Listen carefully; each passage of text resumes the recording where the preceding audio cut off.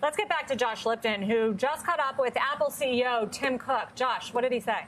So, Sarah, I did speak with Apple CEO Tim Cook, and let me bring you those comments. First and foremost, he talked to me about the supply chain challenges that his company is dealing with right now. Cook telling me we had a very strong performance despite larger than expected supply constraints, which we estimate to be around $6 billion, driven by the industry wide chip shortages and COVID related manufacturing disruptions in Southeast Asia. Now, Cook told me that has improved greatly, but on these chip shortages, I asked Cook when he thought those chip shortages could could ease. Cook telling me the chip shortages linger on. It is unclear, Cook told me, how long it will last. It is complex. And you have to know how the economy is going to be in 2022. You have to know everybody else's demand. We're all competing for chips on these legacy nodes. Uh, as I mentioned, Apple, Apple did not uh, offer formal guidance. So I asked Cook for some color and commentary on the outlook. Cook telling me we expect very solid year over year revenue growth and we expect supply constraints to be greater than the September September quarter, so greater than $6 billion.